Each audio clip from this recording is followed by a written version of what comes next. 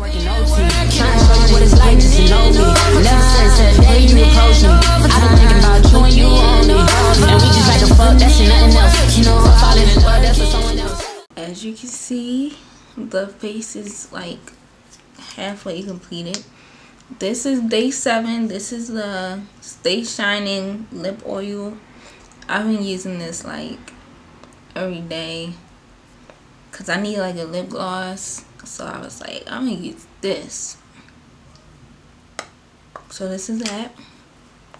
I like it. It's cooling. It's not plumping but it's cooling. So it's cool for real. Day one is the P. Louise Can I Have a Taste eyeshadow palette? And it has a highlighter in there. So we're gonna come back to that.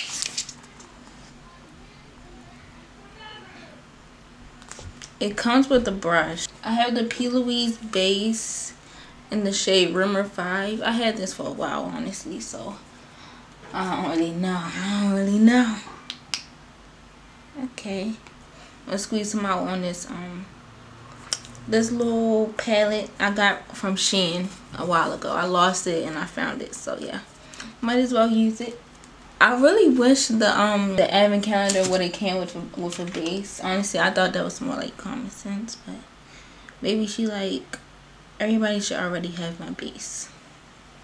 So the eyeshadow palette does come with a mirror. Y'all can see it come with the mirror. So I'm gonna take off the thing. But honestly, like with the gingerbread in front of it, it's kind of like redundant.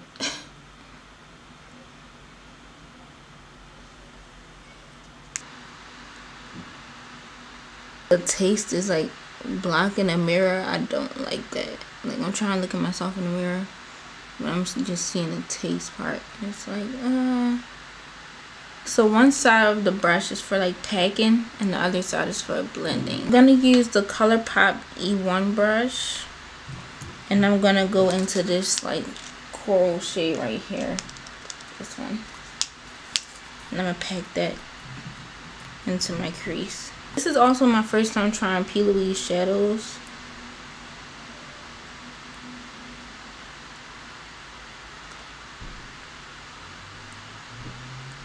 Like I'm saying, like the taste part, it literally takes away from the, um, from the mirror. Like I gotta keep looking in the corner.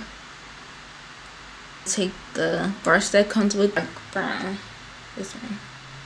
I could go in with this one Wait.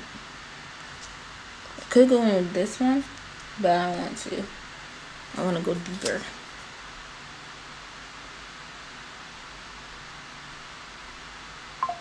Really cannot see like with this mirror I really cannot see.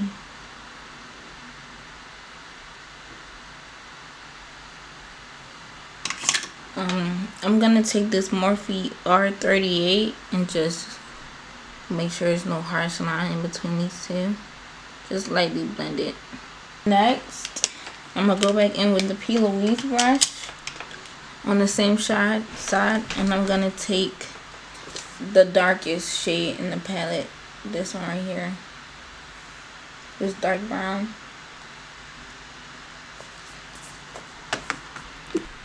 No, I'm literally, I'm gonna focus it right here on the outer part. I'm not dragging it, I'm gonna just keep it right here. Next, I'm gonna take this other side of the P. Louise brush, the clean side, and I'm just gonna lightly feather that into the shades we were already using. I'm gonna go in with this, like, cranberry shimmer shade.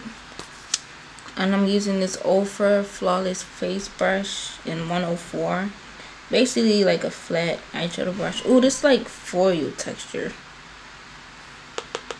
This is giving the most kickback. The mattes wasn't giving that much kickback. You see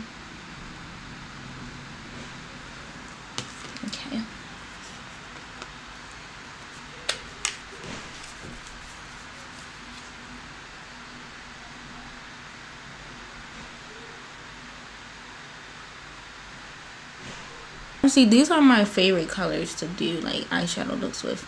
I love like a fall like vampire color. To blend out that harsh line y'all. Blend out the harsh line. Just take the brush i was using earlier the same side. You don't gotta add more. Just go back and forth at the edge. And there's no fallout on my face. I'm gonna take the same brush, the ColourPop brush, and this first shade I use, just sweep that under. This palette is really cute. I mean, the mirror is not practical, but it's really cute. Um, so that was day one. Day two is Sugar Spice and Everything Nice. It is a highlighter palette. So that palette comes with the highlighter and this is also a highlighter palette. Okay, so all I did was put some mascara on.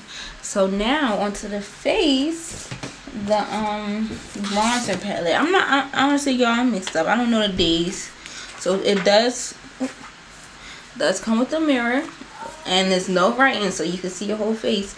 Um me personally i like to use this elf pointed powder powder brush for contour so this is bronzer. I'm gonna go in with the darkest shade of the palette. I do like like that it's like gingerbread cutouts. However i do feel like it's taken away from the product. We're gonna go in and see. Let me take this this thing off this mirror. I can looks good. Yeah i'm feeling like it's looking good i'm feeling like i could cut underneath of it but i'm not going to. I feel like if you're a makeup artist you, this is gonna be perfect for you for you and your clients. I'm gonna use this elf complexion duo this side. Uh, what shade should i go in? I did say I'm going to try this one. I think I mean this one. I think I'm gonna mix this one and and I think I missed this one right here mixed with this one. So the bottom left and the top right. Oh it look pigmented. Wait I do have a liquid blush. Hold on hold on hold on. I definitely forgot about that. The cheek of it. The cheek of it liquid blush. In the shade baked biscuit. I forgot about it. I love the way this look, but I'm not using that part. I'm going to squeeze some out on this flat foundation brush. And I'm to go in. Oh. Wait, when I saw it online, it was not that pigmented. Oh, okay. Uh, I'm not sure how I feel about this. I feel like you really gotta build this up. From what I've seen, you really gotta build it up online. You can see like, I'm like confused. Like you can kind of see it and you kind of can't.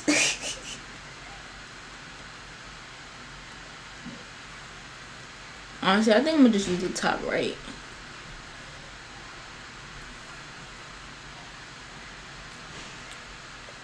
The highlighter palette is sugar and spice and everything nice. So it opens like this. It's very bulky. Use this shade right here. You know, this TikTok actually went viral of this girl applying highlighter. And, mm, and it's like literally, if you've been doing makeup for a while, it's literally all the places like everybody been putting highlighter so i'm like why are y'all like so like oh my gosh this is something new and it's really not so i first go in with a brown lip liner of course this lip palette is in the shape of hearts and it comes with a brush i think i'm gonna first go in with this shade right here this one oh i'm touching it see how dark that is it feels very creamy.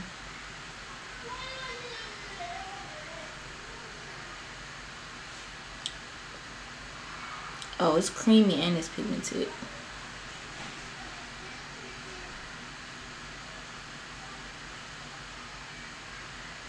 The shades are running very cool. Like the first shade I put on, it don't look cool. It look more like a neutral, but it's running very cool. Yeah. Honestly, I could add a little bit of um gloss to it. I mean, stick. I'm gonna use this pink one in the middle. A little bit of color to the middle of my lips. Yeah. Okay, so the last thing in here. Oh, see, I, I, I done missed two things. Honestly, I feel like they could have replaced these two things with something else. This one is a body glow. Um, it's like a highlight shade. I'm gonna rub it on my neck.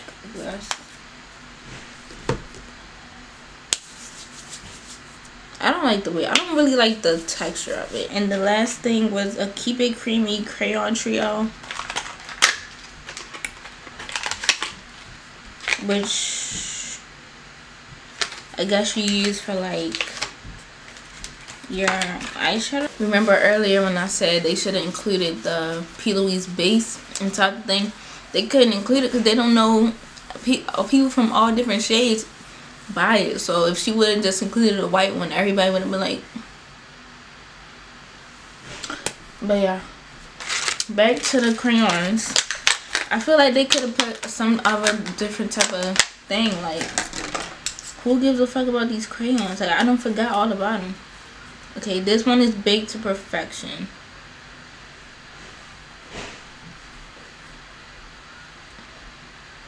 That's actually a pretty shade. This one is whipped frosting. It's very creamy. My honest opinion, do I think the mini advent calendar by P. Louise is worth it?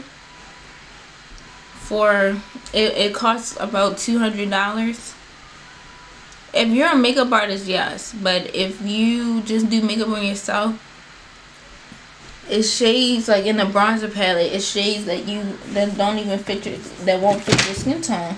It might be too dark or in my instance too light. And yeah i can use them to set under my eye but it's like i don't know. I don't think so. I don't think it was worth 200 i feel like the price should have been lower. I don't think the price. I don't think it's worth two hundred. And I feel like the like they just threw stuff in there. Like they threw. I like the body scrub. I really love the body scrub, so I like that one. But like the crayons and the um this it's like no and then it's like a full size one too and it's like how often are you gonna use this like no but i like that they included a full size eyeshadow palette and the eyeshadow palette comes with a brush and it comes with a highlighter. So i really like this palette. I would really recommend this palette to anyone because it's really good. Like look at my eyes. Like it blended I, you barely have to do anything and it blended really well. Um the lips palette i recommend that as well. I recommend everything except for the last two. This lip oil i recommend. If you need a lip oil yeah. It's not the most hydrating but i like it. Um what else? The bronzer palette i like it. I think it bronzed me. Um i i just wouldn't make it in the shape of the gingerbread because that cuts out product. I would not make it the same shape as the blush. The blush right here. It should have been the same shape because this is two different weights um the cream blush the cheek of it they this really went popular and i really wanted to try it but you definitely got to build it up. I feel like this will be perfect if you do natural looks like you barely put on foundation you barely put on concealer. This will be perfect because like it's very lightweight blendable and buildable like it's really buildable that's one thing i noticed. It go on like pigmented but you as you blend it out it shears out and blends and it's buildable and this one sugar and spice i mean it's a highlighter i'm highlighting it look good i really like this purple one too but people most people wouldn't wear this outside, but I think. But yeah, um, that is my review on the P. Louise mini advent calendar of 2023 if you have any questions down below if you have any questions comment them down below. I'm gonna answer them. If you feel like i, I could have did this better or you think i gotta if you have anything to recommend comment that down below as well. Thank you guys so much for watching and give this video a thumbs up. Check out my latest video. Bye bye okay.